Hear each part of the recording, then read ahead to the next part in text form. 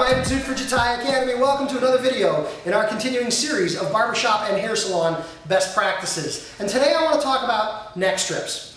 Now, I think you probably expect me to talk about neck strips because neck strips are about sanitation. You put a neck strip on a client before you put a cape on a client. It's the law. Now, there is a loophole in the law, if you will, that allows us not to use a neck strip. Can you tell me when that is? When can you skip the neck strips? According to cosmetology regulations and barber regulations, you do not need to use a neck strip if you use a freshly laundered cape for every customer. In that case, there's no need to use a neck strip from a sanitation perspective. But I am going to offer the suggestion that as a barbershop and hair salon best practice, even if you use a freshly laundered cape every customer, I'm going to suggest that you use a neck strip.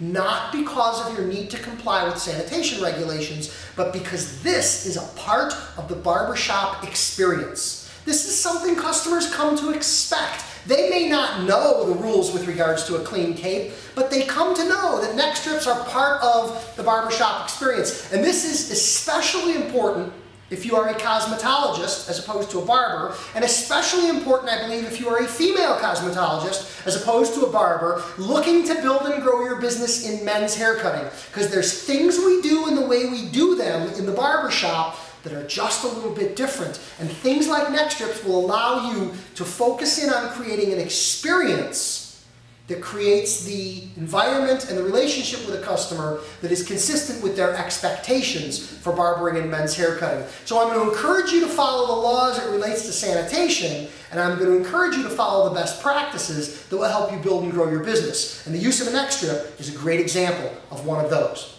I'm Ivan Zoot for Jatai Academy. Thanks for watching, and have a great day.